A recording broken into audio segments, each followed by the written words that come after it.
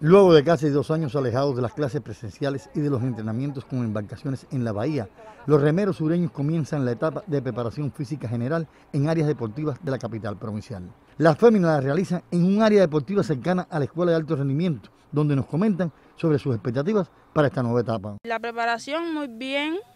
estamos entrenando físicamente, físicamente esforzándonos para las competencias y la expectativa que tengo es llegar al equipo nacional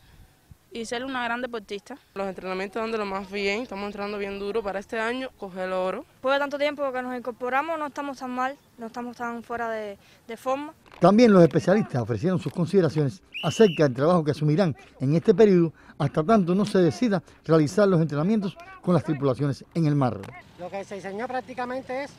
un volumen de carga no, sin intensidad, con muchos juegos y muchas charlas muchas charlas educativas para ver los problemas psicológicos que traen los alumnos y crear una motivación fuerte para que a partir de enero, cuando se elabore el plan de entrenamiento, entonces sí, ya los profesores tener más o menos las mediciones de cómo están sus atletas y elaborar a partir de enero un plan de entrenamiento que sea competitivo. Como remo entrenamos en la academia, no teníamos mucho terreno, entonces cogimos entrenar aquí, no es muy lejos de la isla, pero es un lugar abierto, aquí donde desarrollamos el juego de kicking ball, fútbol, eh, pelota vikinga, todos los juegos que hemos inventado nosotros, jugamos pelota, hacemos actividad, corremos bastante y eso le proporciona a ella un, mejor desarrollo porque la ida es un poco trancada el espacio y la pelota que también está practicando.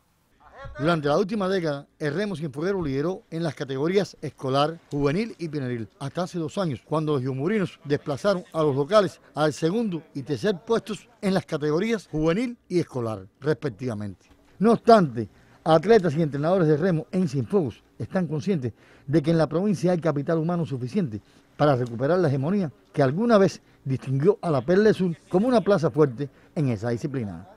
Deportiva, Primitivo González, Notisur.